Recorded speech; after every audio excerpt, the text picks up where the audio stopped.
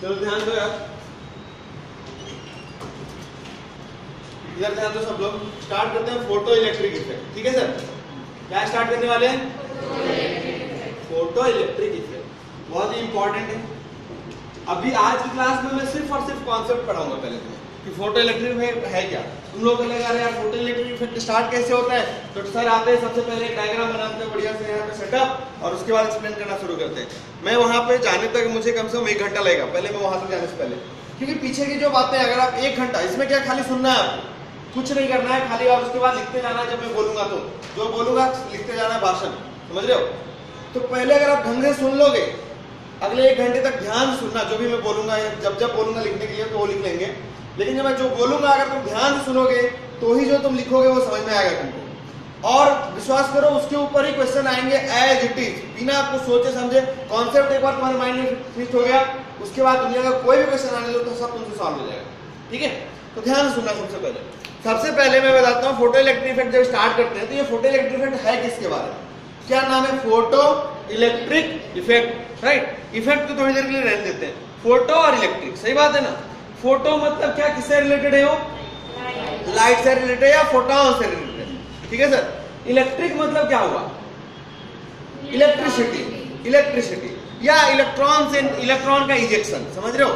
मतलब लाइट के वजह से इलेक्ट्रॉन के इजेक्शन या चार्ज के इजेक्शन के बारे में पढ़ना है यहाँ पे. ठीक है सर अब देखिए मैं एक कहानी सुनाता हूँ. एक बार ना दो साइंटिस्ट मान लो ये है एक और एक ये है. दोनों खुश हो गए साइंटिस्ट सुन के. तो भाई साहब उसका नाम देते हैं मान लीजिए अब उसको बुरा लग रहा है, इसको साइंटिस्ट क्यों बोला? तो ठीक है, इसका नाम है मान लो सुखी और उसका नाम है दुखी। तो ये हमारा एक साइंटिस्ट नंबर वन सुखी और ये साइंटिस्ट नंबर वन दो जो है दुखी। दोनों गए एक दुकान पे, ठीक है? एक दुकान पे गए और दोनों को अब ज़्यादा तो समझ नहीं था, लेकिन साइंटिस्ट थे नाम के लिए। पता होता ज़्यादा था तो अब ये जो सुखी है, इसने बोला कि भैया एक हंड्रेड वाट का बल्ब दे दो। कितने वाट का? कितने वाट का बल्ब चाहिए? सब लोग इधर ध्यान देते रहेगा कोई कोई गायब नहीं हो जाएगा बीच में। नहीं तो बाद में कंफ्यूजन होगा तुम्हें और फिर छोटे छोटे डाउट लेके आओगे तो। ध्यान से सुना खाली तो सुखी ने भी एक हंड्रेड वाट का बल्ब खरीदा। मान लो बल्ब खरीदते कैसे बनाते बल्ब ये लो तुम्हारा बल्ब है मान लो मान लो ये बल्ब है ठीक है? और ये एक दुखी ने भी बल्ब खरीदा वो उसका भी वाट वही था। ठीक है? ये भी हंड्रेड वाट का है। और ये कितने का है? हंड्रेड वाट दोनों ही हंड्रेड वाट के बल्ब अब दोनों भाई साहब लेके आए और अपने घर में, अपने अपने घरों में दोनों जाके एक्सपेरिमेंट कर रहे हैं। ठीक है? ये सुखी साइंटिस्ट है, इसने एक प्लेट लिया था और इसने भी सेम प्लेट लिया था सेम मटेरियल का प्लेट लिया था मतलब मान लेते हैं कि चलो, और ये मेटल प्लेट है, ध्यान रखना, क्योंकि जो भी फ़ोटो इलेक्ट्रिक इफ़ेक्ट होती है ना, वो मेटल्स के बारे में होती है। इसके वजह क्यों होते हैं मेटल्स के बारे में? क्योंकि मेटल्स में फ्री इलेक्ट्रॉन्स होते होंगे। आपको ये सुनाया गया होगा आपके करंट इलेक्ट्रिसिटी चैप्टर में कि सर मेटल्स के पास फ्री इलेक्ट्रॉन्स होते हैं, और माइक्रोस्कोपिक एनालिसिस किया उसका समझ में आ रहा है ना? मेटल्स के पास क्या होते हैं सर फ्री इलेक्ट्रॉन्स होते हैं। मतलब उसके energy band and valence band दोनों ओवरलैप होती है। अब ये सब बातें थोड़ी सी नहीं लग रही हो आगे आपके तो मैं सेमीकंडक्टर में पढ़ाऊँगा वहाँ पे कि क्या होता है? अभी ध्यान रखना कि ये मेटल के ऊपर एक्सपेरिमेंट होगा। इंसुलेटर एंड सेमीकंडक्टर्स में नॉर्मली ये नहीं करते हैं। इंसुलेटर में इसलिए नहीं करते क्योंकि उसका फॉरबिडन गैप जो होता है, वो लगभग लगभग फोर फाइव इलेक्ट्रॉन वोल्ट के बराबर हो जाता है। मतलब दोनों के बीच में। मतलब जो कंडक्शन करने वाले इलेक्ट्रॉन है, वो अवेलेबल नहीं है। तो पहले आपको इलेक्ट्रॉन को एक साइड करके कंडक्शन लेवल में लेके आना पड़ेगा कंडक्शन बैंड में, और फिर वहाँ से इलेक्ट्रॉन का कंडक्शन शुरू होगा। तो ये सब बाद में बात करें अभी आपको ध्यान रखना है कि मेटल ले रहे हैं हम, और क्यों ले रहे हैं मेटल क्योंकि उसके पास क्या है सर फ्री इलेक्ट्रॉन है और फ्री इलेक्ट्रॉन है मतलब क्या? वो ऐसे इलेक्ट्रॉन है जो आसानी से कंडक्शन में पार्टिसिपेट कर सकते हैं। समझ में आ रहा है आपको? ये बात है। अब दोनों ही साइंटिस्ट थे दोनों ने सेम मेटल ले लिया। मान लेते हैं कि सर, इसने भी कॉपर लिया और इसने भी क्या लिया? कॉपर लिया। अब देखो सुखी भाई साहब, सुखी जो साइंटिस्ट थी, इसने क्या किया? थी मतलब था, जो भी था। तो इसने क्या किया? यहाँ पे अपने लाइट गिराया। एक लाइट का जैसे गिरा, फटाक से एक इलेक्ट्रॉन निकल गया। क्या निकला एक? एक इलेक्ट्रॉन निकला। सुखी और भी सुखी हो गया, और भी खुश हो गया। समझ में आ गया? बहुत से नाच रहा ड्रम पीटने लगा, चारों तरफ़ जाके बताने लगा सबको कि देखो देखो भाई, मेरा फ़ोटो इलेक्ट्रिक एक्सपेरिमेंट सक्सेसफुल हो गया। दुखी भाई साहब ने भी एक्सपेरिमेंट किया इसने भी एक गिराया ऐसे करके। लेकिन इसके साथ ट्रेजेडी लगभग खराब है बेचारे का जो बचपन से दुखी नाम है, इसलिए ये इलेक्ट्रॉन इसका जो था, वो बाहर नहीं आया। तो दुखी हो गया। दुखी जो है तो थोड़ा और दुखी हो गया। लेकिन जो दुखी थी ना, उसके साथ एक खास बात था कि वो बहुत हार्ड वर्किंग था, ठीक है? उसने तो इस दुखी ने क्या किया? सोचा, ऐसे कैसे सुखी को छोड़ देंगे हम? है ना? अभी छोड़ेंगे थोड़ी। उसने क्या किया? पावर लगाया और इसे गिराया, लेकिन फिर भी इलेक्ट्रॉन बाहर नहीं आया। उसने और गिराया, लेकिन इलेक्ट्रॉन बाहर नहीं आया। ऐसे करते करते उसने पूरे थाउज़ेंड ऐसे ऐसे डोज डाल दिए, लेकिन फिर भी एक भी इलेक्ट्रॉन बाहर नहीं आया। माय गॉड ये तो बड़ा हाइट हो गया अभी। अभी दुखी हो गया, बहुत दुखी। समझ रहे हो ना? अब इतना सारा होने के बाद, अब उसने सोचा, यार, सुखी की सफलता का राज क्या है? समझ रहे हो? सुखी जो है, जो चारों तरफ़ एकदम चर्चे में आ गया न्यूज़ पे आ गया, हर जगह पे आ गया टीवी पे इंटरव्यू चल रहे कि भाई, आपने ऐसा क्या कर दिया फ़ोटो इलेक्ट्रिक हो गया आपका। लेकिन बेचारे दुखी के साथ ऐसा कुछ नहीं हो तो उसको बुरा लग रहा था। क्यों? क्योंकि उसने भी तो सेम ही चीज़ लाया था। चलो चलो टाइम से हंड्रेड वाइट का बल्ब लिया इसने, और इसने भी हंड्रेड वाइट का बल्ब लिया। मेटल भी सेम लिया, लेकिन फिर भी ऐसा नहीं हो रहा था। अब सोचा दुखी दुखी को आप जैसे दुखी जो होते हैं जो बहुत दुखी होते हैं उनको लास्ट में किसकी याद आती है? भगवान की याद आती है। राइट तो आगे भगवान के पास अब समझ ही रहे थोड़ा। अभी देखो। तो अब फाइनली वो हमारे पास आ गए ठीक है? तो हमने बोला कि भैया देखो अब मैं तो क्या वजह रहा होगा? समझ रहे हैं? तो मैंने देखा तो, तो सुखी दुखी जो है सो अपना दुखना सुना रहे सुखी के बारे में सफलता बता रहे कि देखो वो तो सर ऐसे ऐसे कर लिया मैंने तो हुआ नहीं मरा। तो मैंने बोला, देखो, क्या, कहाँ पे कमी रह गई? आप लोग बताओ, क्या कमी रह गई दोनों में? क्या गलती हो गई सुखी से? और क्या मतलब क्या अच्छा कर दिया सुखी ने ऐसा? और क्या ऐसा हो गया दुखी के साथ? परपेंडिकुलर डाला था? नहीं, चलो ठीक है, दोनों ने सेम टाइप से डाला। अब खुश?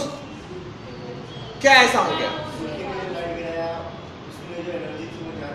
अच्छा मैंने तो वेट बोला है सेम हंड्रेड वेट का बल्ब मैंने इसीलिए तो पावर पहले ही सेम कर दिया, ताकि आपको टेंशन ना हो। सीट का एरिया भी सेम है। सब कुछ सेम है। अब क्या हो गया? सर यहाँ पे ना जैसे ही आया दुखी मेरे पास मुझे समझ में आया कि प्रॉब्लम क्या है। मैंने उसको बताया एक एक, एक तरीका बताया। क्या तरीका बताया? कि जब कोई बाप होता है तो उसके दो बेटे हैं ठीक है? और एक बेटा है लायक और एक है नालायक। तो बेसिकली क्या हुआ कि ये जो भाई साहब क्यों उसको लायक बोलते क्यों नालायक बोलते मैं बता रहा हूँ। ये जो फोटोन इसने गिराए किसने? सुखी ने सुखी साइंटिस्ट जिसने गिराया है ये सारे लायक फोटॉन थे कैसे फोटॉन थे सर ये? लायक। फोटॉन थे जिस वजह से इससे इलेक्ट्रॉन निकला। और इसके जो फोटॉन थे इसको पता तो नहीं चला। दिख तो से भी लाइट तो दोनों से भी दिख रहे थे। लेकिन ये था कौन? बहुत नालायक था। अब इसने सोचा यार ये नालायक कौन है? लायक कौन? किसको बोलते हैं लायक? किसको बोलते हैं नालायक? तो नालायक किसको बोलेंगे? बोलो ना जिससे इलेक्ट्रॉन नहीं निकलेगा। सिंपल सी बात है ना। और लायक किसको बोलेंगे? जिससे इलेक्ट्रॉन निकल पाएगा उसको बोलेंगे लायक ये तो बात हुई यहाँ से देख के बोल रहे आप। लेकिन लायक में ऐसा क्या खास था जिससे इलेक्ट्रॉन निकल पाया? और नालायक में ऐसा क्या था जिससे इलेक्ट्रॉन नहीं, नहीं निकल पाया? तो यहाँ पे समझने वाली बात है। समझने वाली बात क्या है कि हम समझते हैं इसको थोड़ा अच्छे से। सबसे पहली बात समझती है सर कि जो लायक हम अब एक बात ध्यान रखिए, मैंने कल की क्लास में जो सिक्स पॉइंट फिफ्थ पॉइंट बताया था आपको फोटॉन्स की प्रॉपर्टीज़ में, उससे यहाँ पे कनेक्ट हुआ। फिफ्थ प्रॉपर्टी था, जिसने बोला कि एक बार में एक मतलब आप फोटोन को क्या मान लो? एरो मान लो। और वो क्या करता जाके चिड़िया को मार देता था। याद आ रहा है कुछ? वैसी बात है यहाँ पे। क्या हो रहा था? ये और मैंने बताया था कि जो जो टोटल एनर्जी होता है total energy that depends on number of photons कि कितने नंबर ऑफ़ फोटॉन्स निकाला और साथ में एक फोटोन की एनर्जी कितनी थी? समझ में आया? एक फोटोन की एनर्जी कितनी थी? लेकिन, भाई साहब, ये जो आपकी फोटॉन्स गिरते हैं मतलब जो नंबर ऑफ़ फोटोन्स आपने कितने भी गिरा दिए, उससे कोई फ़र्क नहीं पड़ेगा। फ़र्क किससे पड़ेगा? भैया एक पर्टिकुलर जो आपकी ये है मतलब फोटॉन्स है, उस उस फोटोन के वेवलेंथ और फ्रिक्वेंसी क्या है? समझ में आया? उस पर्टिकुलर फ्रिक्वेंसी क्या है उसकी? मतलब ये जो फोटॉन्स है इसकी फ्रिक्वेंसी मान लेता हूँ सर मैं है F2 समझ रहे हो? जो नालायक है। और ये जो है आपका वो जो लायक है उसका मान लेता हूँ मैं F1 अब क्या होता है? हर मेटल का हालाँकि दोनों सेम मेटल है मान ले कॉपर ही है तो हर आप मेटल का अपना एक पॉइंट होता है कि अगर तुम इससे ज़्यादा अगर गिर जाएगा उसके ऊपर उससे ज़्यादा मतलब उसको मिल जाएगा तो वहाँ से इलेक्ट्रॉन इजेक्ट हो जाएगी। अगर उससे कम फ्रीक्वेंसी वाला वेवले, वेवले, कम फ्रीक्वेंसी वाला फोटोन उस पर गिरेगा तो उससे इलेक्ट्रॉन इजेक्ट नहीं होंगे। समझ में आ रहा है आपको? उसको इस बल्ब के पावर से कोई लेना देना नहीं है। बल्ब का जो पावर है, उसका, उससे यह सिग्निफाई नहीं होता है कि उससे जो इलेक्ट्रॉन बाहर आ रहे हैं। समझ रहे हो? उससे जो फोटॉन्स बाहर आ रहे हैं, उसकी एनर्जी इस बल्ब के पावर एनर्जी के बराबर ऐसा ज़रूरी नहीं है। ये बात ध्यान रख लेना है। इसीलिए कंफ्यूज करने के लिए मैंने आपको दे दिया था यहाँ पे। हमें किससे मतलब होता है कि सर इलेक्ट्रॉन कब बाहर आएगा? जब इलेक्ट्रॉन की सॉरी जो फोटॉन्स की जो एनर्जी है, अगर वो एनर्जी सफिशियंट है, जो कि उस मेटल के जो इलेक्ट्रॉन को चाहिए बाहर निकलने के लिए, उसके बराबर अगर हो जाती है तो इलेक्ट्रॉन जस्ट बाहर आ जाएगा। समझ में आया आपको? फिर से एक्सप्लेन कर रहा हूँ कि सर, ये जो एनर्जी यहाँ से गिर रहे हैं, ये जो एनर्जी यहाँ से गिर रहे हैं दोनों ही केस में उसमें क्या होगा कि सर, दोनों ही फोटोन, जो अपने फोटोन से इसके, इस फोटोन की एनर्जी, बल्ब की एनर्जी नहीं बोल रहा मैं, किसकी एनर्जी बोल रहा? फोटोन की। फोटोन की एनर्जी किस पर डिपेंड करता है? कि उसकी फ्रीक्वेंसी और वेवलेंथ पर डिपेंड करता है। इसकी मतलब एक में बात करता हूँ, फ्रीक्वेंसी पे। तो अगर इसकी फोटोन की जो फ्रिक्वेंसी है अगर वैसी फ्रीक्वेंसी है जिससे इलेक्ट्रॉन बाहर निकलता है तो वो वाली जो फ्रीक्वेंसी होती है, उसको हम बोलते हैं लायक फ्रीक्वेंसी क्या बोलते हैं उसको? और जिससे नहीं निकलता, उसको क्या बोलते हैं? नालायक फ्रीक्वेंसी अब ये जो लायक फ्रीक्वेंसी है ना, इसको थोड़ा सा बढ़िया सा नाम दे दिया फिजिक्स में। और नाम दे दिया क्या पता है? थ्रेशोल्ड फ्रीक्वेंसी नाम दे दिया। कोई बड़ी बात है नहीं। थ्रेशोल्ड मतलब क्या? लायक। थ्रेशोल्ड मतलब क्या? लायक है। ये वो सारे फ्रिक्वेंसी है जो कि लायक है। इसके अलावा जो होंगे सब? नालायक हो जाएँगे। समझ में आपको? तो सबसे पहले हम दो तीन चीज़ यहाँ से जितने भी सिक्का ना फ़ोटो इलेक्ट्रिक खत्म हो गया, इतना ही है। लेकिन ध्यान में सुन लो, इसमें ही क्वेश्चन आएँगे और उससे ही आपसे क्वेश्चन बनना चाहिए। इससे ही क्वेश्चन आएगा। इतने ही पॉइंट से जरा ध्यान से सुनो। क्या बोल रहा है कि हमने अभी यहाँ पे ना बहुत ये एक्सपेरिमेंट आप ध्यान रखना, हर क्वेश्चन सॉल्व होगा आपसे। मैं दिखाऊँगा अभी कैसे। कि सर, पहले केस में क्या हुआ?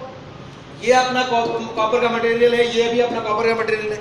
लेकिन यहाँ की जो फ्रिक्वेंसी थी यहाँ की जो फ्रिक्वेंसी थी, वो कौन सी फ्रीक्वेंसी थी?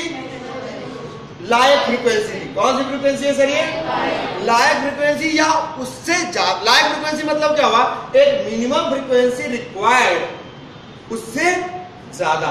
समझ में आया? जैसे तो वो जो मिनिमम फ्रिक्वेंसी रिक्वायर्ड होता है, आपको पता है हर फ्रिक्वेंसी क्या? अपने के हिसाब से फोटोन की कुछ एनर्जी होगी। अगर मान लो किसी फ्रिक्वेंसी किसी फोटोन की फ्रिक्वेंसी है एफ़ तो उसकी एनर्जी कितनी होगी बताओ? एच इंटू एफ़ ना एच इंटू न्यू ना। अरे होगा कि नहीं होगा? एच वाई लैमडा के हिसाब से एच न्यू मतलब अगर मैं बोलूँ कि सर, ये जो मेटल है, ये जो मेटल है, इस मेटल की minimum frequency required to eject the electron is suppose I say f naught इसको मिनिमम कितना चाहिए? एफ़ नॉट इसको भी ऑब्वियसली सेम मेटल है तो एफ़ नॉट चाहिए। तो उसके करस्पॉन्डिंग इस एफ़ नॉट के करस्पॉन्डिंग में एक एनर्जी आएगी। आएगी कि नहीं आएगी एनर्जी क्या वो एच इंटू एफ़ नॉट हो जाएगा? सर ये जो एच इंटू एफ़ नॉट होता है ना इसको नया नाम दिया गया। नो थ्रेशोल्ड को ना कुछ बता रहा हूँ ना इसको एक नया नाम दिया गया और उसको उन्होंने नया नाम क्या दिया पता है इस एनर्जी को? वर्क फ़ंक्शन क्या नाम दे दिया इसको? तो देखो ये वर्क फ़ंक्शन सुनने से लगता है ऐसा कि वर्क डन होगा। समझ रहे हो ना? ये वर्डन वर्डन कुछ नहीं है डरने जैसा नहीं वो क्या है? सर, वो मिनिमम एनर्जी है जो रिक्वायर्ड है उस मटेरियल को उतना दे दो ताकि उसका पेट भर जाए और वो इलेक्ट्रॉन बाहर निकाल दो। समझ में आएगा आपको? समझ में आ रहा है क्या आपको? सर वर्क फ़ंक्शन क्या होता है? अरे भाई फोटोन के टर्म में नहीं बोल रहे हमको मेटल के टर्म में रहा है वर्क फ़ंक्शन जब मेटल के साइड से सोचते हैं हम। मेटल के साइड से सोचेंगे तो सर, वो मिनिमम एनर्जी है जो उस मेटल को चाहिए ताकि वो अपना इलेक्ट्रॉन इजेक्ट कर दे। फोटोन के साइड से सोचेंगे तो हम बोलेंगे थ्रेशोल्ड एनर्जी है। So work function is nothing but ये जो आप उसको वर्क फ़ंक्शन बोलते हो, इसको क्या बोलते हो आप? वर्क फ़ंक्शन डब्ल्यू का पूरा नाम लिखना वर्क फ़ंक्शन या इसको आप एक और नाम दे सकते हो क्या? थ्रेशोल्ड एनर्जी इसको आप थ्रेशोल्ड एनर्जी बोलो, लेकिन बुक में ऐसा कोई टर्म यूज़ नहीं करता थ्रेशोल्ड एनर्जी वो नॉर्मली वर्क फ़ंक्शन यूज़ करते हैं। समझ में आया आपको? अब ये जो एफ़ नॉट था सर वो मिनिमम फ्रीक्वेंसी रुको ना एक मिनट सब लिखने के लिए टाइम दूँगा मैं जो थ्रेशोल्ड फ्रीक्वेंसी के बारे में बात कर रहा था मैं, सर, ये एफ़ नॉट कौन सी फ्रीक्वेंसी है? वो मिनिमम फ्रीक्वेंसी है। ध्यान रखना थ्रेशोल्ड फ्रीक्वेंसी क्या होती है, सर? ये मिनिमम फ्रीक्वेंसी है। किसके लिए? To eject electron. समझ रहे हो? To eject electron. Minimum frequency required basically मुझे बोलना चाहिए मिनिमम फ्रीक्वेंसी रिक्वायर्ड लिख लेना।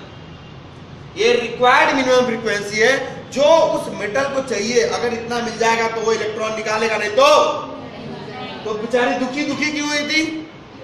क्योंकि उसके बच्चे ना लायक मतलब सॉरी उसके फोटोस ना लायक थे। समझ रहे हो ना? और ये सुखी सुखी क्यों? क्योंकि उसके जो फ्रीक्वेंसी थे वो कैसे थे? क्या ये समझ में आपको? याद रहेगा लायक ना लायक अच्छी बात है। तो सर, सही बात है। मतलब जो लायक फ्रीक्वेंसी किसको बोलेंगे सर? जो कि थ्रेशोल्ड फ्रीक्वेंसी से ज़्यादा होगा। मतलब मैं क्या बोल सकता हूँ? जो थ्रेशोल्ड फ्रीक्वेंसी सर, इसको आपने एफ़ नॉट नाम दिया है ना?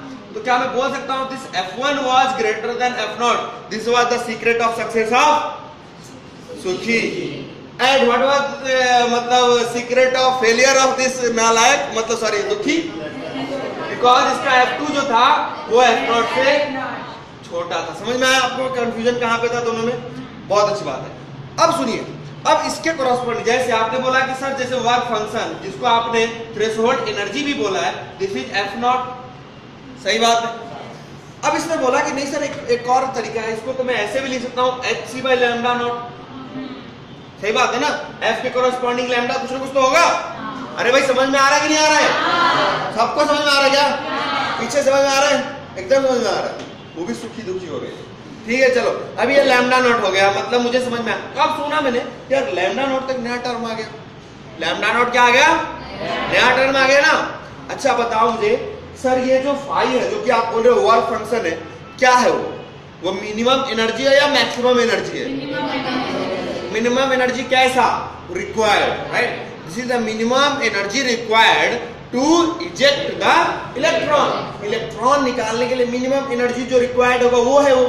क्या मेरी बात समझ में आ रही है आपको?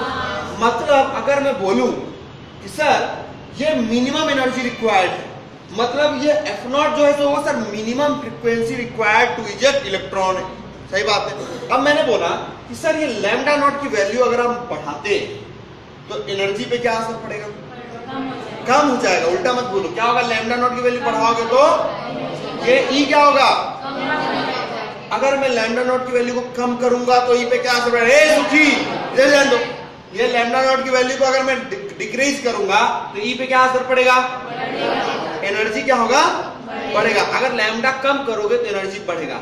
तो सर अगर मुझे मिनिमम से एनर्जी को मतलब जो इंसिडेंट एनर्जी है मुझे उसको minimum required that is work function से बढ़ाना है मुझे क्या करना है सर? तो लैम्डा की वैल्यू को क्या करना पड़ेगा? कम करना पड़ेगा। मतलब लैम्डा जो इस मिनिमम एनर्जी के कॉरेस्पॉन्डिंग जो लैम्डा होगा क्या वो मैक्सिमम वेवलेंथ होगा? समझ में आया? इसलिए सर ये जो लैम्डा नॉट है उसको नया नाम दिया उन्होंने एक नाम दे दिया क्या नाम दिया? लायक वेवलेंथ समझ में लायक wavelength.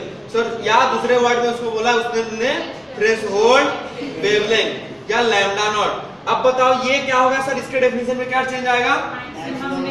Sir this is the maximum wavelength समझ रहे हो ना? फिर से वही बात। रिक्वायर्ड टू इजेक्ट क्या? इलेक्ट्रॉन समझ में आया? कि इलेक्ट्रॉन निकालने के लिए जब मैक्स सॉरी मैक्सिमम ना मैक्सिमम वेवलेंथ अगर उससे ज़्यादा लोगे तो इलेक्ट्रॉन नहीं निकलेगा। इलेक्ट्रॉन निकलेगा क्या? बिल्कुल नहीं निकलेगा। अब सुनो ये तो एक बात हुई। ये तो एक तरह की बात हुई जिसमें हमने सोचा समझा अभी तक। थ्रेशोल्ड इसके बाद हमने समझा वर्क फ़ंक्शन मतलब दोनों तरह की threshold threshold energy threshold frequency threshold wavelength समझ गया अब प्रॉब्लम एक और है यार इस दोनों एक्सपेरिमेंट में। क्या एक्सपेरिमेंट में प्रॉब्लम है? यार, तुम बताओ कि यार, इससे तो देखो जरा कि एक इलेक्ट्रॉन इसने तो एक ही डाला था। सही बात है। मैं माना कि इसने नालायक था।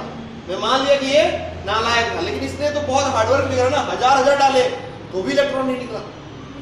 फिर ये क्या बात हुई? ये क्यों? हज़ार डाला ना तो एनर्जी तो बढ़ी ना अल्टीमेटली तो रिजोल्ट तो क्रॉस कर गया होगा नहीं बढ़ी? अरे, एक एक की एनर्जी मान लो, ई तो हज़ार की थाउज़ेंड ही हो जाएगी ना। मान लो एक ही पॉइंट पे सारे एनर्जी डाल रहे तो? कभी भी सर एक बार जो एनर्जी आती है वो वही नहीं सो जाती है। नहीं उस जगह पे स्टोर नहीं रहती है। उस मॉलिक्यूल को हीट करता है उस मॉलिक्यूल में वो एनर्जी स्टोर नहीं रहती है। एक्चुअली ये जो एक पॉइंट है ना ये एक बहुत ही वाइटल पॉइंट है जिसने ये प्रूव कर दिया कि सर लाइट जो है सो पार्टिकल है।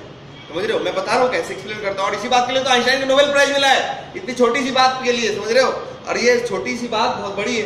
इसको थोड़ा समझ लेते हैं तो ठीक है? आप वैसे सही बोल रहे हो। सुनिए जरा ध्यान से। हुआ क्या? इसने बहुत सारे फोटॉन्स गिरा दिए। पहले तो हम बेसिक से समझते हैं, फिर डीप जाएँगे। पहले तो हमको इतना समझ में आया कि sir no matter how many photons you make fall on that surface अगर वो नालायक है तो इलेक्ट्रॉन नहीं निकलेगा। ये बात ध्यान रखना, नालायक है तो वो जीवन भर नालायक ही रहेगा, समझ रहे हो? पहले उसके वजह से कुछ अच्छा काम तो नहीं होने वाला। पहली बात ये ध्यान रखना। समझ रहे हो? तो क्या नालायक कभी इलेक्ट्रॉन निकाल पाएँगे क्या? चाहे आप कितना भी डाल दो, पहली बात। दूसरी बात ध्यान रखिए सर, जो इजेक्शन ऑफ़ इलेक्ट्रॉन है इजेक्शन ऑफ़ इलेक्ट्रॉन है, ये क्वेश्चन आए हुए हैं हाँ मैं बोल रहा हूँ जो इजेक्शन ऑफ़ इलेक्ट्रॉन्स हैं, वो टोटल एनर्जी पे डिपेंड नहीं करते हैं। वो किस पे डिपेंड करते हैं? एनर्जी ऑफ़ ईच फोटोन समझ रहे हो? Energy of that particular photon एक फोटोन की एनर्जी क्या उस पर डिपेंड करते हैं? इरेस्पेक्टिव ऑफ़ टोटल एनर्जी समझ में आया? ये पॉइंट बहुत ही वाइटल है, ध्यान रखना है। कि सर क्या? आपसे क्वेश्चन दिया रहेगा ejection of electron depends on energy of photon total energy of photon समझ रहे हो ना? ऐसे ऐसे और कुछ दे देगा। तो किस पे डिपेंड करता है sir ejection of electron energy किसका? वन फोटोन एक फोटोन की एनर्जी पे हमारा इजेक्शन मैं ऐसा पॉइंट लिखा दूँगा टेंशन मत लो। लेकिन हम ध्यान रखो, फिर भी समझ के रखो अभी। क्या समझा हमने कि सर इजेक्शन ऑफ़ इलेक्ट्रॉन पे डिपेंड इजेक्शन ऑफ़ इलेक्ट्रॉन किस पे डिपेंड करता है? हाथ ठीक से फैला के बैठा आराम से किस पे डिपेंड करता है फोटोन के जो एनर्जी है हाँ एक फोटोन की एनर्जी वो सो रहा है थोड़ा थोड़ा अभी भी नींद आ रहा है उसको। स्टार्टिंग में फ़र्स्ट लेक्चर में ही मतलब क्या होता है ये भी से है तो। फिर क्या हो गया? अभी सोने की क्या ज़रूरत है? मैं इतना बॉडी पढ़ा रहा हूँ क्या? इधर ध्यान दे ध्यान से सुनो। मैं लोरिया नहीं सुना रहा ना। अभी मम्मी लोरी सुनाती है तो बच्चे सो जाते हैं। मैं थोड़ी लोरी सुना रहा हूँ जिस तुम सो रहे हो। जागते रहो। अब इधर ध्यान दो। एक इंपॉर्टेंट चीज़ और समझना है यहाँ पे। क्या? एच वर्मा ने उन्होंने एक एग्ज़ाम्पल दिया है। तुम लोगों ने खेत देखा कभी? हमारा शेत बोलते हैं ना तुम्हारे यहाँ पे। तो वही, तुम्हारा जो खेत होता है या जो भी होता है, तुमने देखा वहाँ पे इरिगेशन होता है? अब देखो इरिगेशन के दो तरीके हो सकते हैं। इधर ध्यान बालों में कोई लड़की इधर ध्यान कि अभी एक, दो खेत है, सर। ये एक खेत है, मान लो किसका है? तो ये सूखी का खेत है। ठीक है? सूखी का खेत। और ये जो खेत है, ये किसका खेत है भैया? ये दुखी का खेत है। दोनों ने अपने अपने खेत में कुछ अनाज लगाए। ठीक है? मतलब ये उसका प्लांट्स है मतलब। ठीक है? अब क्या किया? दोनों, लेकिन दोनों पढ़ने वाले थे। अब इस बार क्या है लेकिन जो तुम्हारा दुखी है, दुखी को सुखी कर देते इस बार। ठीक है थोड़ा। तो ये दुखी है, नहीं तो वो रोने लगेगा, बाद में भैया कब तक दुखी रहेंगे, जीवन भर। इतना मेहनत करने का कोई फ़ायदा नहीं बाद में वही रिज़ल्ट देगा मेहनत से कुछ नहीं होता है। तो ये देखो, ये दुखी क्या बोला? दुखी ने क्या किया? दुखी ज़्यादा इंटेलिजेंट था। उसने क्या किया? आइंस्टाइन को फॉलो किया। उसने क्या किया भैया? इरिगेशन के दो तरीके। एक, मान लो सुखी है। तो सुखी ने क्या किया? जो सुखी, वो नॉर्मल इरिगेशन का जो तरीका होता है। क्या होता है? पाइप लिया। पाइप से वाटर आ रहा था। इरिगेशन करना है दोनों को अल्टीमेटली खेत में। और ये क्या कर? रहा है इरिगेशन ऐसे ऐसे अपना पाइप से पानी ऐसे ऐसे डाल रहा समझ रहे ना? देखे हो ना तुम ऐसे इरिगेशन करते हो सो ये उसका पाइप है यहाँ से। और इस पाइप से ना ऐसे ऐसे वाटर की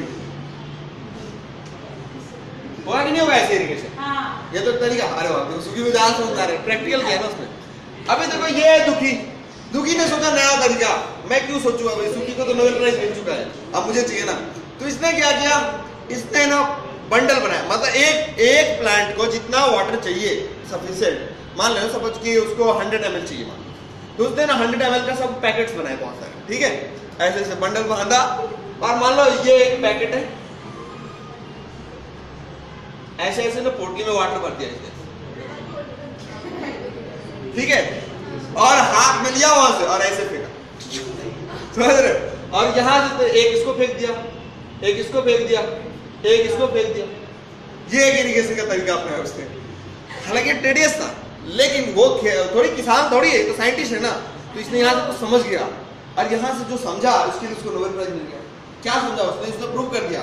इसने बोला कि देखो, अभी देखो जो सुखी है वो क्या सुखी तो बहुत खुश हो गई, खेत से आगे, खेत से अब खाना पीना खा रही घर पे बैठ के।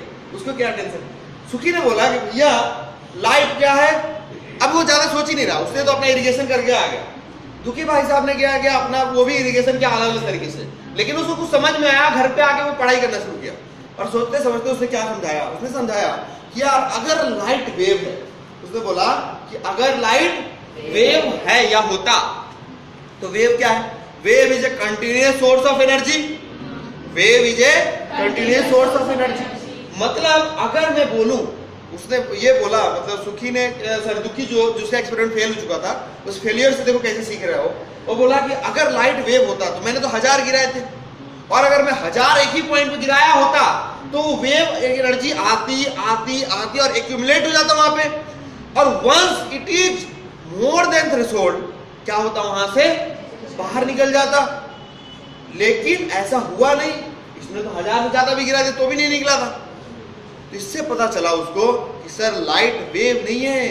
लाइट पार्टिकल है, ये ऐसा इरिगेशन है कि उस प्लांट को जाके मिल रहा है पर्टिकुलर अगर उसको उससे ज़्यादा हो गया तो बाहर निकला। अदरवाइज़ नहीं निकला। अगर वेव होता वेव फॉर्म में तो हर प्लांट को जाके वो एनर्जी यहाँ भी आता, यहाँ भी आता, बाद में सबको फैल जाता ना उसमें। एनर्जी तो पूरा फैल जाता। समझ में आया? तो हर पॉइंट से इलेक्ट्रॉन निकलनी चाहिए थे। लेकिन ऐसा नहीं हुआ। भले नालायक होता तो भी क्या, एक दो एक बार में नहीं उसको एनर्जी मिला। दूसरा कोई और आके उसमें ऐड हो जाता और थ्रेशोल्ड से निकल जाता। समझ में आ रहा है क्या? तो इससे उसने प्रूव कर पाया। क्या प्रूव कर पाया? कि लाइट वेव नहीं है। पार्टिकल है ऐसा बोला और उसके बाद तो तुम्हें पता ही है फिर से फाइनली डी ब्रॉगली को आना पड़ा पूरे वर्ल्ड में हल्का बचने लगा था। समझ रहे हो? तो दुखी में इतना पावर है समझ में आ रहा है? समझ में आया ना? सो so, पॉइंट ये सब जो मैंने बोला है पहले आप बोर्ड पे जो लिखे है ना ये सब जो भी है ना अलग अलग अच्छे से लिख लो बना लो और उसके बाद मैं इसको पॉइंट वाइज लिखवा देता हूँ ठीक है? पहले लिखो जो बोर्ड पे लिखा है। बहुत इंपॉर्टेंट है किताबों में बहुत सारे पेज है हम भी कम से कम चार पाँच लाइन तो लिखेंगे ठीक है? लिख लो पहले बोर्ड पे जो लिखा है।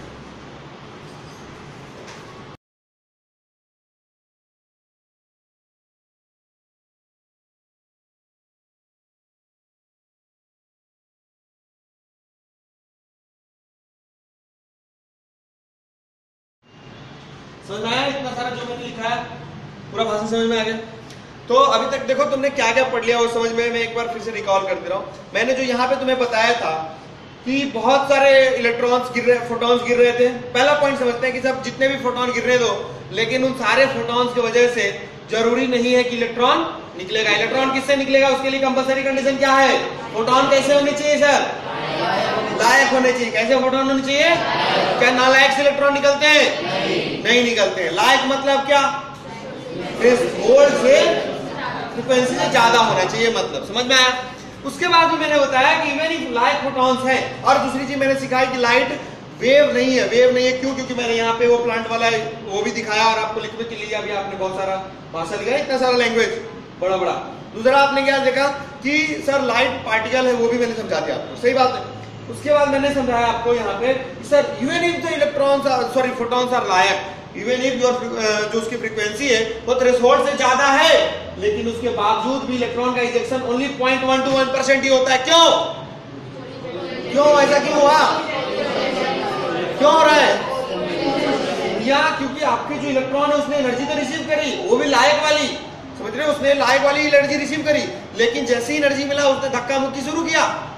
समझ रहे हो? और उस धक्का मुक्की करने की वजह से क्या हुआ भाई साहब ने अपनी एनर्जी लूज कर दी। मान लो कि टेन गिरा, ज़रूरत था निकलने के लिए टू सिर्फ़ टू था उसका वर्क फ़ंक्शन लेकिन ये भाई साहब ने टेन तो लिया, लेकिन अंदर में लड़ाई करके एट से ज़्यादा इलेक्ट्रॉन इलेक्ट्रॉन वोल्ट का एनर्जी अंदर ही खराब कर लिया उसने। तो क्या वो बाहर निकल पाएगा कभी?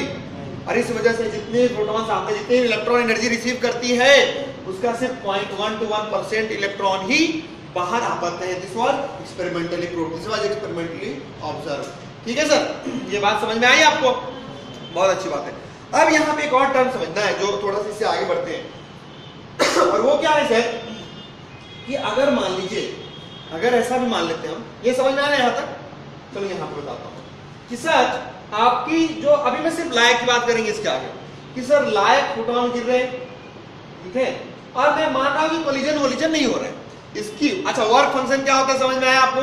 What is work function definition लिखा आपने? वहाँ पे एक लाइन और लिख लो phi equal to phi equal to लिख लो। This is hc by lambda naught is equal to h f naught, या h nu naught एक ही बात है, देखिए वर्क फ़ंक्शन अब इधर जा समझ लेना सर वर्क फ़ंक्शन जो है वो किसकी प्रॉपर्टी है? मेटल की अपनी प्रॉपर्टी है। समझ में आ रहा है क्या पीछे वाले? क्या समझ में आया? कि वर्क फ़ंक्शन मेटल की प्रॉपर्टी होता है। अगर मेटल चेंज तो वर्क फ़ंक्शन चेंज होगा कि नहीं होगा? क्या फोटोन चेंज होंगे तो वर्क फ़ंक्शन चेंज होगा? नहीं होगा चेंज समझ में आ रहा है? ओके अब मैं बोलूँ कि सर मान लीजिए कोलिजन के लिए जो बात नहीं करते, या हम सिर्फ़ उसकी बात कर रहे हैं, जो इलेक्ट्रॉन बाहर आ रहे हैं, उसकी बात कर रहे हैं। तो सर अगर ये फोटॉन्स है, मान लेता हूँ इसकी एनर्जी सर कितनी है तो ई e एनर्जी है। ठीक है? इसकी एनर्जी कितनी है? ई e. अब ये जो वर्क मेटल है, इसकी वर्क फ़ंक्शन है फाइव इसकी वर्क फ़ंक्शन है फाइव मतलब फाइव क्या हुआ? सर वो वहाँ के इलेक्ट्रॉन को मिनिमम एनर्जी चाहिए।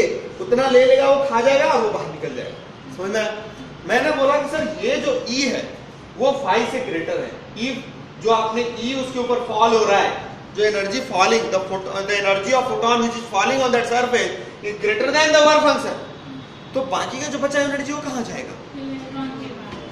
हाँ मतलब वो जो इलेक्ट्रॉन बाहर आया मतलब सर इसने ई गिराया उसने उस ई में से फाइव एनर्जी इलेक्ट्रॉन ने क्या करी? इधर देखो, पीछे कुछ नहीं है। जो है सब इधर है, सब इधर समझा रहा हूँ मैं। ठीक से बैठो पहले। तो ही समझेगा तुम्हें।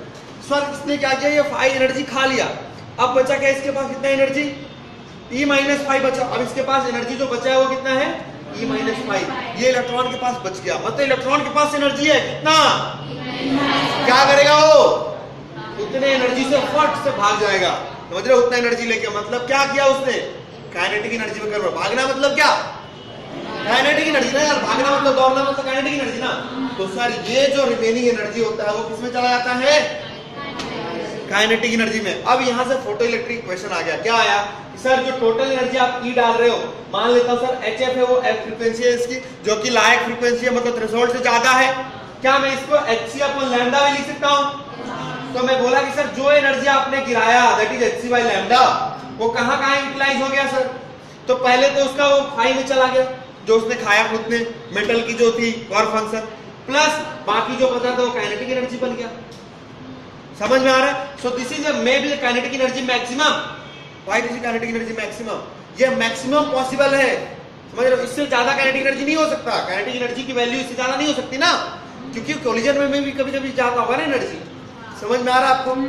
अब मैं इसको और स्टाइल में थोड़ा लिखना चाहूँ तो ऐसे भी लिख सकते हो। क्या sir f c upon lambda this lambda is the photon sorry wavelength of the photon falling is equal to h c upon lambda naught plus k e या हाफ़ एम बी स्क्वायर भी कहेंगे, लिखते जैसे लिखना है लिख लो आप। क्या मेरी बात आपको समझ में आ रही? है अगर कहीं से यहाँ से लिखा रहेगा k equal to h c lambda upon h c by lambda क्या वही बात है?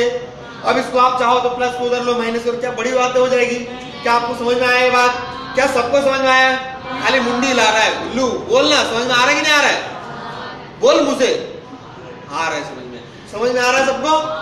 सर, एक बात ध्यान रखना, ये जो इक्वेशन है, जो कि आप इसको बोलो उसको बोलो, कोई भी, सर इसको बोलते हैं फ़ोटो इलेक्ट्रिक इफ़ेक्ट इक्वेशन बोलते हैं। ये फ़ोटो इलेक्ट्रिक इफ़ेक्ट का इक्वेशन होता है। एक मिनट और सुनना है थोड़ा सा। कि सर, ये जो इक्वेशन हमने पढ़ा ये किसके ऊपर बेस्ड है? सिंपल एनर्जी कंजर्वेशन के ऊपर बेस्ड है। किसके ऊपर बेस्ड है? कल से आपको सीधा बाहर कर दूँगा, ठीक है सर? आप ध्यान नहीं दे रहे फालतू में क्लास में। अगर आपको नींद आती तो आप क्लास के बाहर सो के आएगी थी घर से। This is not something you are doing saying you are great और something no you should be focusing in lecture otherwise class में सो रहे हो, कितनी गंदी बात है इट डिस्करेज द टीचर हुई टीचिंग समझ में आ रहा है? So h c by lambda equal to h c lambda अगर आपको समझ में नहीं आ रहा that is different you ask me the question h c by lambda equal to h c by lambda naught plus k समझ में आया यहाँ तक? लिखना है क्या? लिख लो सब इसके बाद हम एक क्वेश्चन करेंगे अच्छा मान लो तुमसे एक सवाल मैं पूछ लूँ कि सर, अगर मैंने फ्रीक्वेंसी बढ़ा दी फ्रिक्वेंसी को मैंने डबल किया, चलो सब लोग क्वेश्चन करेंगे। कोई सोएगा नहीं यार। समझ रहे यही सोते रहते खाली। सर एक्चुअली क्या है ना फ्रीक्वेंसी को मैंने डबल किया। जो फ्रीक्वेंसी फॉलिंग है, जो फ्रीक्वेंसी आप गिरा रहे हो मेटल के ऊपर, इसको मैंने क्या कर दिया? डबल कर दिया। तो मुझे बताना है आपको, मैं आपसे सवाल पूछ रहा हूँ कि काइनेटिक एनर्जी पे क्या असर पड़ेगा? Comment on kinetic energy I give you option kinetic energy double हो जाएगा। दूसरा मैं बोलता हूँ कि सर काइनेटिक एनर्जी जो होगा, वो लेस देन डबल हो जाएगा। या काइनेटिक तीन ही ऑप्शन देता हूँ kinetic energy greater than double हो जाएगा। सोच के सब लोग बताएगा। सोचो और बताओ, पहले ये लिख लो, फिर इसको सॉल्व करो और मुझे बताओ। सब लोग करो। हो गया लिख के? चलो सबसे पहले ये तो लिख लिया तुम लोगों ने। अब ये क्वेश्चन करते हैं सबसे पहले। कि सर क्या बोल रहा है? इसको यहीं पे कर लेंगे। कि सर आपने जो फ्रीक्वेंसी गिराई है, जो आप फ्रीक्वेंसी उसके ऊपर डाल रहे हो फोटोन की, उसको आपने डबल कर दिया। सही बात है? वही कर रहे हैं ना? तो मतलब मैं पहले केस में बोलूँ कि आपने एफ़ गिराया था, मान लो। तो क्या हुआ? मतलब एच आपने गिराया। उसमें से सम पोर्शन फाइव चला गया। जो बचा हुआ पोर्सन था, वो that is your kinetic energy and I say it is one k one ठीक है? सेकेंड टाइम क्या कर रहे हो आप? फ्रीक्वेंसी को डबल कर दे रहे। हो सो नाउ आप कर रहे हो two of h f is equal to will be utilize by five plus k two so now if I write k two may I write is two h f minus five समझ में आ रहा है आपको?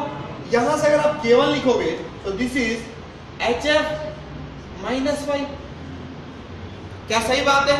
Point clear हो रहा है सबको? सर के वन इक्वल टू मैं लिखता हूँ। एच एफ़ माइनस फाइव अगर आप ध्यान से देखो तो इसको मैं लिखता हूँ h f plus h f minus five क्या समझ में आ रहा है आप लोगों को? अगर आप ध्यान से देखो तो क्या लिखता हूँ मैं? दिस इज़ एच एफ़ अपने मर्ज़ी से मैंने माइनस फाइव मैं देखो कैसे लिख रहा हूँ? H f minus five plus five कैसा लिखना सही है गलत है? This h f minus five is nothing but k one this is twice so this is twice of k1 plus now tell me कि जो आपका काइनेटिक एनर्जी सेकेंड है, वो k1 के डबल है या उससे ज़्यादा है? ज़्यादा है ना? So kinetic energy greater than double यही इसलिए क्वेश्चन आया था। आप लोगों से मैक्सिमम लोगों ने, मैं 99% लोगों ने आंसर दिया कि kinetic energy less than double अब इसको ना इतना भी करने की ज़रूरत नहीं, थोड़ा लॉजिकली सोचते हैं, उसको सही बताया था एक बच्चे ने। कि सर सोचिए जरा, और सिंपल सी बात है। कि मान लीजिए कि आपको खाना खाने के लिए दो रुपया लगता है। समझ रहे हो? दो रुपया दिया जाए मतलब कि तो आपका पेट भर जाता है। ठीक है? और बाकी का जो रुपया रहते हो, आप क्या करते हो? सेविंग कर लो बुक्स खरीद लेते हो, मान सो आपको किसी ने पहले दस रुपया दिया। कितना रुपया दिया? दस रुपया दिया। तो आपने दो रुपए का खाना क्या है? बाकी आठ रुपए का बुक खरीदा आपने। दूसरी बार क्या किया? उसने बीस रुपया दिया। तो खाना तुम दो ही रुपए का खाओगे ना? तुम उतना ही खा सकते हो, मान लो। तो कितने का बुक खरीदोगे तुम? एटीन का। तो तुम डबल मतलब 16 से ज़्यादा खरीद रहे हो ना? तो मतलब आपकी जो काइनेटिक एनर्जी जो बुक्स खरीदने की जो आपकी जो ये हुआ कैपेबिलिटी हुआ वो डबल से ज़्यादा हुआ कम हुआ? पहले 8 था तो 8 into two sixteen plus two हो गया। मतलब काइनेटिक एनर्जी से डबल हो गई। और ऐसे क्वेश्चन एग्ज़ाम में आते हो और ऐसे ही जब आप सिंपल सिंपल तरीके से सोचोगे तो सही आएगा आंसर नहीं तो गलत करके खुशी खुशी आ जाओगे। अब लोग देखो यार आसान सवाल है क्या मस्त पढ़ाते हो सर? फिर भी मार्क्स नहीं आया अच्छा, ऐसा नहीं होना चाहिए। चलिए हम एक आसान सवाल करते हैं। ये तो थोड़ा ठीक ठाक सवाल था। अब इससे भी एक आसान सवाल करते हैं। और मैं आपको बोलता हूँ कि सर मान लीजिए कि किसी भी मेटल का वर्क फ़ंक्शन है 1.2 इलेक्ट्रॉन कितना वर्क फ़ंक्शन है? 1.2 इलेक्ट्रॉन वोल्ट इसकी वर्क फ़ंक्शन है। सब लोग जल्दी से आंसर देगा। यार सब क्वेश्चन में ज़्यादा टाइम नहीं लेना चाहिए। सीटी लेवल सवाल भी नहीं है आईआईटी में कहाँ आएगा इधर स्टेट इंजीनियरिंग चाहिए। और मैं बोलूँ कि सर, इसके ऊपर जो एनर्जी गिर रही है, उसका वेवलेंथ है कितना बोलते हैं 6200 एंगस्ट्रॉम मुझे, मैं आपसे पूछूँगा कि इसकी काइनेटिक एनर्जी की मैक्सिमम वैल्यू कितनी है? क्या निकाल सकते हो आप? सिंपल है यार। नहीं कर सकते H C by lambda naught से इसकी टोटल एनर्जी निकल जाएगी। उसमें से 1.2 को सब्ट्रैक्ट कर लो, बाकी बचेगा अब सुनो, यहाँ पे एक चीज़ मैं सिखाता हूँ आपको। जब आप H C by lambda naught करने जाओगे ना, देख लो, मैं आपको ये भी सिखाता हूँ। तो पहले करो, पहले एक बार करो, फिर मैं बताता हूँ आगे। करो जल्दी से सब लोग, और मुझे आंसर बताओ फाइनल फटाक से। सिंपल है? समझ रहे हो ना? अभी देखो यहाँ पे क्या है, भैया लैम्डा दिया हुआ है आपको फाइव दिया हुआ हमसे पूछ रहे काइनेटिक एनर्जी मैक्सिमम कितना होगा, वो निकालना है। तो देखो सबसे सिंपल सी बात है, आप जब यहाँ पे एनर्जी जो इसके ऊपर सुनिए जरा, इसमें क्वेश्चन में कोई दम नहीं है। समझ रहे हो, सिर्फ़ कैलकुलेशन में टाइम पास करने वाले तो देखिए जरा इस पे जो एनर्जी गिर रही है, वो जो एनर्जी टोटल एनर्जी फॉलिंग क्या मैं लिख सकता हूँ H C by lambda right ले सकता हूँ ना? अब देखो एच का वैल्यू कितना होता है? 6.626 होता है क्या? हाँ मान लो 6.626 होता होगा। Into ten minus thirty four joule second होता है जूल में। सही बात है? ओके c की वैल्यू होती है three into ten power eight metre पर सेकेंड ओके बहुत अच्छी बात है। और लैम्डा जो भी है, वो रहेगा। ठीक है? लैम्डा इन मीटर सुनो एक मिनट अब क्या करते हैं सर लैम्डा यहाँ पे है जो कि मीटर में इन मीटर ये जो वैल्यू आएगा, ये वैल्यू आपका ऐसा यूनिट आएगा। आएगा कि नहीं आएगा ऐसा यूनिट अब इसको क्या करते हैं? कैलकुलेशन को इजी करने के लिए आप ये इलेक्ट्रॉन वोल्ट में, जिसको भी इलेक्ट्रॉन वोल्ट में चेंज करते हैं तो जूल से इलेक्ट्रॉन वोल्ट में जाना है तो आपको पता है one electron volt equal to one point six coulomb into इतना जूल राइट सो मतलब वन जूल इक्वल टू कितना हो जाएगा? उसको वन पॉइंट सिक्स कुलम से डिवाइड करना पड़ेगा। समझ में आ रहा है कि नहीं? वन जूल को तो यहाँ पे क्या करूँ मैं? डिवाइड कर दूँ इसको 1.6 point six into ten minus nineteen this much क्या हो जाएगा ये? इलेक्ट्रॉन वोल्ट हो जाएगा। समझ रहे हो ना? इसका जो कैलकुलेशन करोगे तुम। तो ये आएगा ट्वेल्व थाउज़ेंड फोर हंड्रेड समझ रहे हो? खाली ध्यान रखना कि सर यहाँ lambda should be in nanometre for in angstrom in angstrom होना चाहिए। तो ये इलेक्ट्रॉन ध्यान रखना कि क्या ई की वैल्यू क्या होगी twelve thousand four hundred lambda should be angstrom तो सर ये जो आएगा, क्या आएगा? इलेक्ट्रॉन वोल्ट में एनर्जी आ जाएगा। तो कैलकुलेशन इजी हो जाएगा आपका और कुछ नहीं। तो अब यहाँ से डायरेक्ट मुझे बताओ ई इक्वल टू कितना आ जाएगा आपका? 12400 डिवाइडेड बाय 6200 क्या आ जाएगा ये? 2 इलेक्ट्रॉन वोल्ट सही बात है ना? मतलब टू इलेक्ट्रॉन वोल्ट एनर्जी गिरी 1.2 तो खा गया। तो काइनेटिक एनर्जी का मैक्सिमम वैल्यू कितना हो सकता है? मैक्स मैक्स कितना हो सकता है? काइनेटिक एनर्जी यार अरे बोलो। सो टू में से पॉइंट वन पॉइंट टू गया तो कितना बचा? Simple point eight electron volt energy max हो सकता है काइनेटिक एनर्जी ज़रूरी नहीं इतना हो कम भी होते हैं इससे। क्यों? कोलिजन ओलिजन पर डिपेंड करेगा ना। ये बात हुई। तो इसको चाहो तो लिखना है तो लिख लो। अब मैं तुम्हें एक छोटा सा ग्राफ बताता हूँ छोटा सा ग्राफ जो कि एक्सपेरिमेंटली आया है। इसका कोई मतलब थियोरेटिकल वैसा लॉजिकल प्रूफ नहीं बता रहा मैं डायरेक्ट आपको याद रखना है। पहले उससे भी पहले एक छोटी सी चीज़ और। क्या ध्यान रखना है सर कि सर मान लीजिए, अभी मैंने बताया भी था हालाँकि आपको, कि मान लीजिए इस तरह से दो हमारे पास मेटल्स है। क्या है हमारे पास दो? मेटल्स है। और हम उस पर लाइक फोटोन्स की बात करें। किसकी बात करें? लाइक फोटोन्स अभी हम नालायक की बात बिल्कुल नहीं करेंगे। अब ये जो एक लाइक फोटोन है, जिसकी एनर्जी है टू इलेक्ट्रॉन वोल्ट कितनी एनर्जी है इसकी? ऐसे ऐसे इसने थाउज़ेंड फोटोन डाले हैं। और करस्पॉन्डिंग मान लो कि आपको मैं बोलूँ कि वन परसेंट बाहर निकलता है। आपको पता है ना कि वन मैंने बताया one point one two one percent electron बाहर निकलता है बाकी सब तो कोलिजन में रह जाता है। तो इसके वजह से इलेक्ट्रॉन निकले नंबर ऑफ़ इलेक्ट्रॉन मान लेते कितने निकले तो सर मैं बोल देता हूँ चलो वन इलेक्ट्रॉन बाहर निकल रहा है ऐसे में। ठीक है? समझ में आ रहा है आपको? अगर मान लो आप क्या करो कि फोर इलेक्ट्रॉन वोल्ट वाला एनर्जी का ये ले लो, ठीक है? और उसके थाउज़ेंड गिरा दो फोर इलेक्ट्रॉन वोल्ट वाले। तो कितने इलेक्ट्रॉन बाहर आएँगे? एक फोटोन की एनर्जी मैंने ले ली। सर एक ही रहेगा। अरे उसकी काइनेटिक एनर्जी ज़्यादा होगी यार, लेकिन नंबर तो एक ही रहेगा ये। अब अभी भी नहीं समझ पा रहे हो, समझो इस बात को। यही सब क्वेश्चन आते हैं। समझ में आया? इलेक्ट्रॉन तो मैंने बताया ना, वो एरो पे डिपेंड करता है। एरो मान लो कि मैं बोलूँ कि दो चिड़िया है पेड़ पे, ठीक है? एक एरो मान लो कि तुमने क्या लिया? मान लो एरो की जगह पे ना हम कोई वेपन यूज़ कर रहे ठीक है? मान लो एक ए के फोर्टी सेवन है। ठीक है, और दूसरा जो है, तुम्हारा मान लो क्या है ग्रेनेड वगैरह ठीक है, अब मान लो तुमने एक के फोर्टी सेवन से मारोगे तो वहाँ पे क्या होगा, एक ही चिड़िया मरेगी ना, क्योंकि एक ही को लगेगा। राइट और अगर मान लो कि तुम बॉम्ब डाल दी वहाँ पे और एक ही चिड़िया तो एक ही मरेगा ना। समझ में आ रहा है पॉइंट क्या कह रहा हूँ मैं? कि सर एरो आप कितना भी फास्ट फेंको इधर से, चिड़िया को लगने के बाद वो बुरी तरह मरे या जैसे मरे, मरेगा तो एक ही। समझ में आया? मतलब क्या, अगर टू इलेक्ट्रॉन वोल्ट का भी लिया आपने, जब टू इलेक्ट्रॉन तो एक ही इलेक्ट्रॉन बाहर निकला।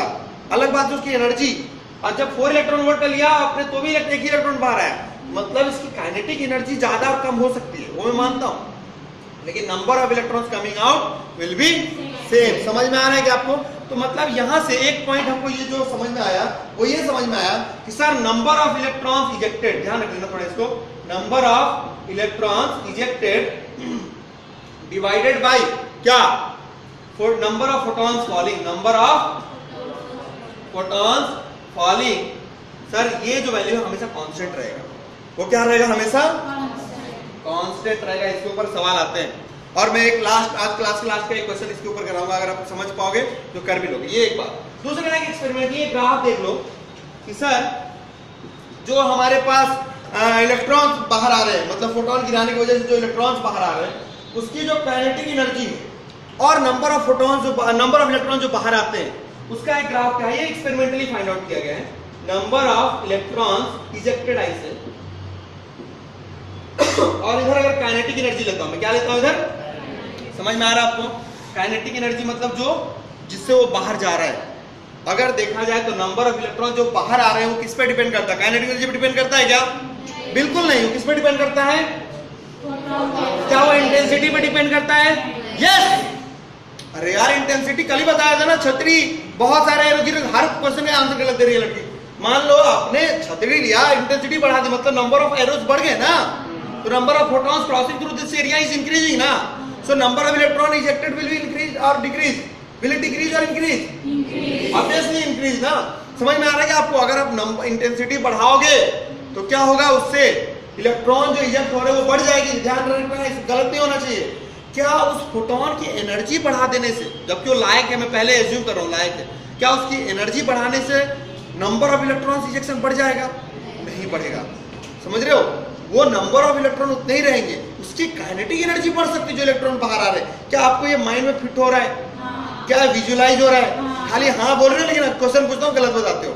सच में समझ में आ रहा है? तो एक तरह से देखा जाए तो जो काइनेटिक एनर्जी बाहर आ रही है, इलेक्ट्रॉन जो इलेक्ट्रॉन बाहर आ रहे हैं, उनकी kinetic energy and number of photons falling उसमें कोई रिश्ता नहीं है। है क्या कोई रिश्ता? Number of electron ejecting and kinetic energy of that electron कोई रिश्ता है क्या? कोई कोई रिश्ता नहीं। Number of electron ejecting depends on how many photons has fallen on that surface right but it do not depends on किस पे kinetic energy of that electron समझ में आ रहा है आपको? लेकिन एक्सपेरिमेंटली एक रिज़ल्ट फाइंड आउट किया गया। पूछा नहीं जाता एग्ज़ाम में, किसी एग्ज़ाम में आज तक नहीं आया। लेकिन अगर आ जाए तो सही करके आना, इसलिए बता दे रहा हूँ। ये सिर्फ़ और सिर्फ़ एक्सपेरिमेंटली आया है। इसका अभी तक कोई, मैं आपको कुछ भी नहीं पढ़ाया हूँ और आपको समझना भी नहीं जस्ट ध्यान रखना है। अलग से बताया मैंने इसलिए अलग से। समझ में आया? ठीक है? ये इसमें कोई लॉजिक कुछ दिमाग नहीं लगाना अब मैं जो मेन चीज़ आपको बताने जा रहा हूँ, जो ग्राफ जहाँ से हमारे क्वेश्चन बनते हैं और जो हमको समझ में भी आना चाहिए, जो हमने पढ़ा है, उसके बेसिस पे पढ़ेंगे।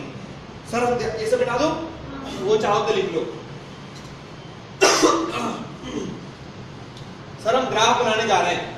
इसके बेसिस पे? फ़ोटो इलेक्ट्रिक इफ़ेक्ट का जो हमने इक्वेशन पढ़ा है, उसके बेसिस पे हम ग्राफ बनाने जा रहे हैं। किसके किसके बीच में? तो kinetic energy and frequency of the photon इसके बीच में। किसके किसके बीच में बनाने जा रहे हैं? काइनेटिक एनर्जी किसका? जो इलेक्ट्रॉन बाहर आ रहे हैं उसका, बाहर आने के बाद। ठीक है? फ्रीक्वेंसी कौन सी? जो फोटोन की गिर रही थी, उन दोनों के बीच में क्या रिश्ता ये देखने जा रहे हैं। तो आपको तो पहले से पता है कि सर आप मुझे बताएँगे। सब लोग आप ध्यान देंगे, दो मिनट बाद फिर से बाद में लिखना है, पहले दिन समझ लो। कि सर जो काइनेटिक आप डायरेक्ट बताओ, सर जो फोटोन गिर रहे हैं, उसकी एनर्जी कितनी होगी? एच होगा। क्या उसमें से कुछ पार्ट क्या हो जाएगा? हाई हो जाएगा। नेक्स्ट क्या बचेगा यहाँ पे? बोलो, क्या लिखूं सब लोग?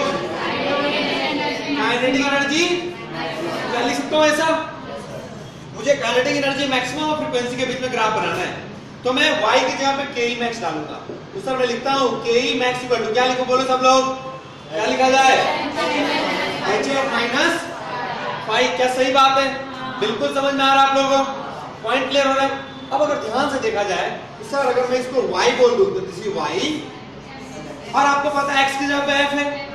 ये h क्या है? कांस्टेंट है। दैट इज़ प्लैंक्स कांस्टेंट तो ये m, x and this intercept is negative minus c मतलब this is straight line now m की वैल्यू पॉजिटिव है नेगेटिव है? m तो अपना h है। खड़े हो जाओ तुम। जल्दी जल्दी, खड़े हो जाओ। और मुझे बताओ, h की वैल्यू कितनी होती है? कोई भी नहीं बोलेगा, एक खुद से बोलेगी। यूनिट जूल्स पर second wow madam joule second 6.626 into 10 minus 34 joule second याद रहना चाहिए, आप रिपीटर में हो तो। बच्चे नहीं हो। तो सबसे अच्छी बात है, ध्यान रखना सर, ये h की वैल्यू पॉजिटिव और ये कांस्टेंट वैल्यू ये प्लैंक्स कांस्टेंट अब देखो, इसमें क्या मैं इंपॉर्टेंट ये समझने वाला। तो देखो सर, अगर मैं ग्राफ बना दूँ, और इस साइड में क्या ले रहा हूँ? फ्रीक्वेंसी और इधर क्या ले रहा हूँ मैं सर? काइनेटिक एनर्जी मैक्सिमम अगर मैं इस पे ग्राफ बनाने जाऊँगा, थोड़ा सा और ऊपर लेते इसको। और देखो तो क्या ये स्ट्रेट लाइन आएगा? आएगा कि नहीं स्ट्रेट लाइन और उसका स्लोप क्या होगा? एक्यूट या ऑब्ट्यूज क्या होगा? बिकॉज़ एम पॉजिटिव है तो मतलब हमारा ग्राफ ऐसा बनेगा सर लेकिन उसका इंटरसेप्ट कैसा आएगा? You are saying sir intercept is negative समझ में आ रहा है क्या आपको? मतलब सर ये जो ग्राफ है अगर इसके स्लोप की बात करूँ मैं इसका स्लोप समझ रहे हो? This angle I say is theta this is tan theta this slope is tan theta this is nothing but equal to h. क्या समझ में आया आपको? लेकिन जो ये y इंटरसेप्ट है दैट इज़ नेगेटिव ये क्यों क्या है? उस मेटल की work function sir this intercept y intercept is nothing but hc upon lambda naught और इधर you can say hf naught क्या मेरी बात समझ में आ रही है? क्या सही है? क्या ये पॉइंट सही है जो मैंने बताया आपको? Okay one more point sir मुझे बताओ स्लोप जो है यहाँ पे बहुत इंपॉर्टेंट चीज़ सिखा रहा हूँ। जो स्लोप होता है वो मेटल पे डिपेंड करता है कि नहीं करता है? अभी बताइए एच है एच डिपेंड करता है क्या? आज बेचारे का लक खराब है एक भी बॉल नहीं हो रहा उससे। सर ये जो एच है वो मेटल पे डिपेंड करता है क्या? वो तो प्लैंक्स कांस्टेंट है। For every metal H is going to be constant इसीलिए आप देखते हो एग्ज़ाम में जो क्वेश्चंस आते हैं उसमें पैरेलल लाइन बने होते हैं बहुत सारे। समझ रहे हो पैरेलल क्यों बने होते हैं? क्योंकि सर, ये जो एच है वो कांस्टेंट अगर एच नहीं कांस्टेंट रहेगा तो अलग पैरेलल थोड़ी रहेगा चाहे आप कोई भी मेटल लो एच की वैल्यू सेम रहेगी ना, वो तो कांस्टेंट है। चेंज क्या हो सकता है?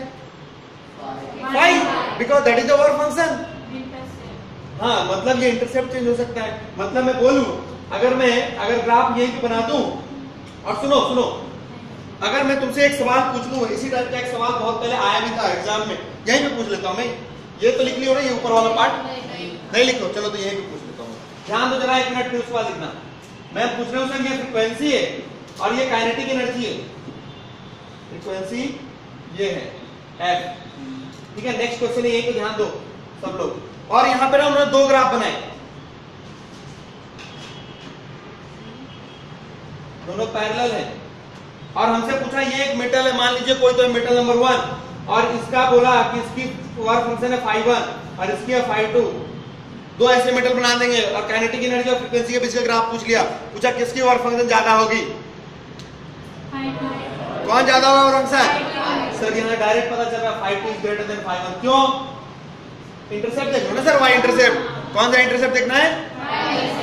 सिर्फ़ इतना ही सवाल नहीं पूछा, ये तो एक बात होगी दूसरा उन्होंने पूछा, अब देखो सवाल कैसे घुमाएँगे उन्होंने पूछा कि इफ़ सपोज़ दोनों, दो मेटल हैं उस पे जो फोटॉन्स गिर रहे हैं अगर उनके ऊपर आइडेंटिकल फोटॉन्स गिराए गए और वो भी ऐसे लायक फोटॉन्स कैसे फोटॉन्स है सर लायक मतलब रिजोल्ट ज़्यादा वाले हैं।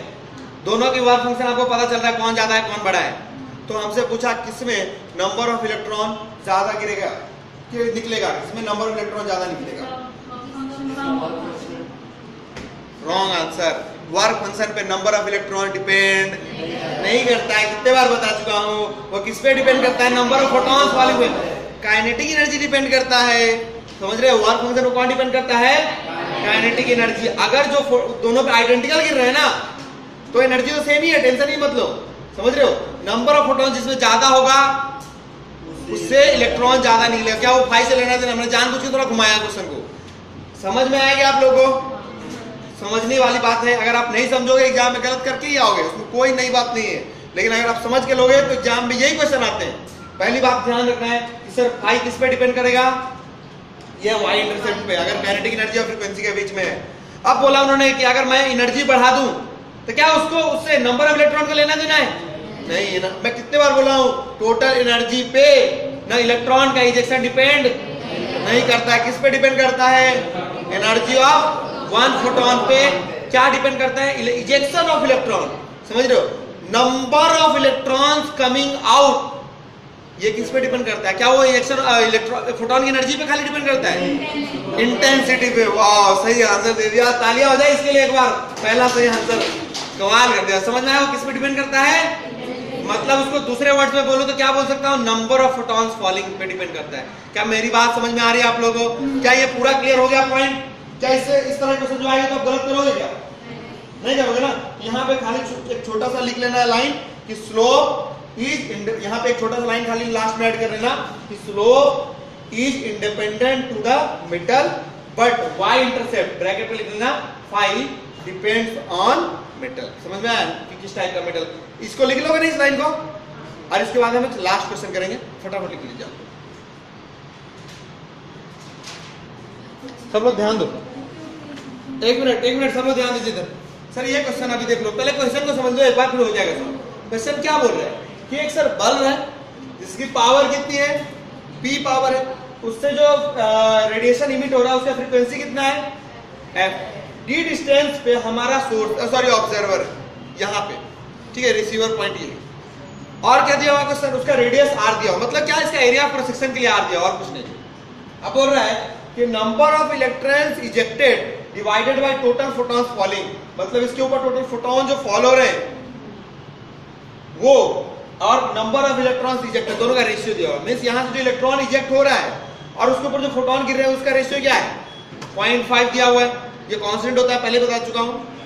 तो पूछ रहा है कि number of electron ejecting per second बताओ। एक सेकंड में कितना इलेक्ट्रॉन इजेक्ट हो रहा होगा? ठीक है? जागते रहिए अब अगर हमको देखना है, सर, कि पहले तो आप मुझे ये बताओ कि, सर, यहाँ पे एनर्जी कितना आ रहा होगा total mean total energy here अगर मैं यहाँ पे बात करूँ टोटल एनर्जी कितना रहा तो देखिए जरा ध्यान से। मैं लिखूँगा सर टोटल एनर्जी फॉलिंग ठीक है? टोटल एनर्जी फॉलिंग आप क्या बताओ ये पावर जो होता है पावर और इंटेंसिटी में क्या रिश्ता होता है? What is power energy per unit time सही बात है। और what is intensity energy per unit time per unit area सही बात है। तो मैं बोलूँगा, सर टोटल एनर्जी फॉलिंग अगर मुझे निकलना है per unit area per unit time मतलब मैं इंटेंसिटी बोल देता हूँ। क्या बोलता हूँ मैं? इंटेंसिटी तो टोटल इंटेंसिटी फॉलिंग ऐसे बोलता हूँ सर टोटल इंटेंसिटी क्या हो जाएगा? पावर को किससे डिवाइड करना पड़ेगा?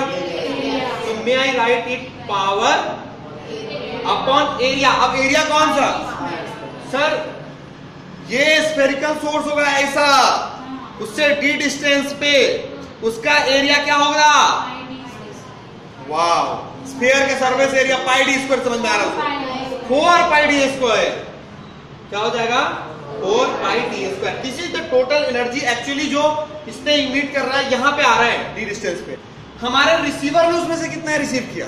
मैं बोलूँगा कि सर एनर्जी रिसीव माइनस करेंगे। वाह पांडे जो टोटल आएगा उसका इतना पोर्शन ही ले पाएगा वो। बाकी तो सब चला जाएगा वेस्ट हो जाएगा। उसका एरिया कितना ही है ना तो जितना एनर्जी आ रहा है टोटल उसमें से उसका अपना एरिया इतना। समझ में आ रहा है आपको? सो so, मैं बोलूँगा sir energy now I am not writing intensity I am writing energy received per unit time ठीक है? पर यूनिट टाइम लिख रहा हूँ मैं। So this is power upon four pi D square मतलब energy per unit area per unit time इसमें इसके area से मल्टीप्लाई कर दो। So now this energy per time मतलब दिस पावर सो इसका एरिया क्या होगा? पायर स्क्वायर पाई से pi cancel and we have P upon four D square into R square sir this is the energy received per unit time सही बात है? इतना समझ में आ गया हमको। अब मुझे पता है कि सर जो एनर्जी आपने निकाला है यहाँ पे this is also equal to what मान लीजिए टोटल नंबर ऑफ़ फोटॉन जो गिर रहे हैं वो एन है। तो may I write this this energy per unit time is equal to N H F per unit time है वो। मान के चल रहा हूँ मैं। बाद में अपने को आंसर भी उसे पर यूनिट टाइम में निकालना है। तो आ जाएगा। क्या ये एन एच एफ़ के इक्वल होगा? बोलो सही बात है? हमें एन पे फोकस करना है। तो मैं अब एन निकालता हूँ यहाँ से। अब मैं बोलू एन इक्वल टू क्या होगा? तो जरा सब लोग ध्यान दे और मुझे बताएगा।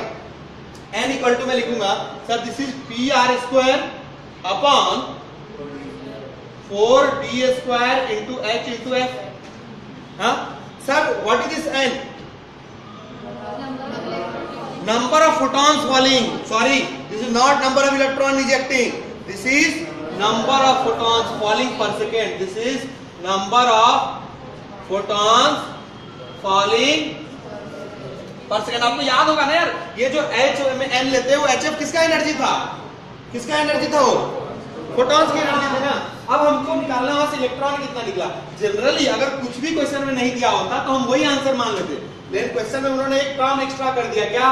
कि सर, जितना फोटोन गिर रहा है, उसका सिर्फ़ 50 परसेंट मतलब 0.5 ही है, वही बाहर आ रहा है। मतलब नंबर ऑफ़ इलेक्ट्रॉन जितना फोटोन गिरा, उसका आधा। So may I directly write the answer now number of electrons ejecting per second समझ में आया आपको? पर सेकेंड क्या हो जाएगा? तो इसको 0.5 ये जो रेशियो दिया उससे क्या करना पड़ेगा? मल्टीप्लाई कर देना पड़ेगा। So I write the answer now directly so this is P R square upon 4hf d square into 0.5 या 1 by 2 so, answer is pr square upon 8hf d square. क्या सही है? फाइनल आंसर अपना ये हो जाएगा। This is the number of electrons ejecting per क्या आपको समझ में आया आप लोगों? हाँ? पूरा क्लियर हो गए? ये कोई डाउट है? नहीं तो कल हम इसके ऊपर और चर्चा करेंगे, कल हम बात करेंगे फ़ोटो इलेक्ट्रिक इफ़ेक्ट के एक्सपेरिमेंट की मतलब एक्सपेरिमेंटल सेटअप और उसके बाद हम प्रॉब्लम सॉल्व करेंगे प्रैक्टिस करेंगे।